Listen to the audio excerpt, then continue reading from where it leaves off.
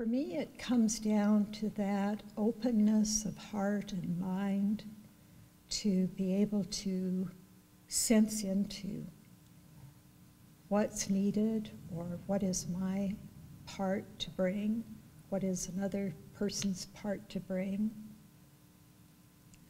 It starts with a stillness and an opening into a different kind of space.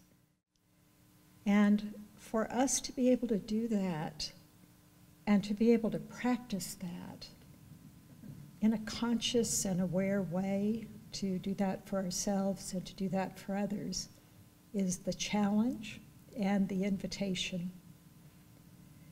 When we're coming more from the place of personality and preferences, our human nature, we might say,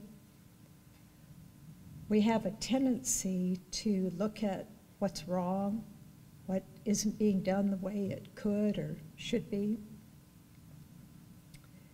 And there's a tendency then to, to start on a pattern, what I find to be a very repetitive pattern of old thinking and old feelings that seem to pop up and surface when, when faced with a difficult challenge. And yet, I find if I take time to be still and to simply be present to that higher dimension of myself, higher dimension, the being aspect of each person in my world, then I'm able to sense into a new way of being together. But that actually is the spiritual key. And it doesn't stop. We don't reach a point where we're not still awakening, we're not still becoming, we're not still bringing more of the creativity that's ours to bring. And that's the beauty of it.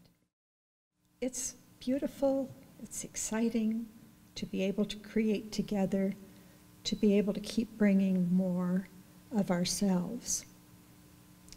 And at times, I think it can, it can seem difficult. I can remember that uh, back along the way, more so than now, though there are things now that I may find myself doing that aren't necessarily comfortable or familiar.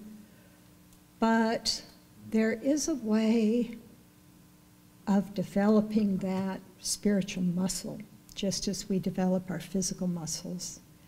And it comes in the same way, I think. It comes through the doing of it, it comes through the expressing of it.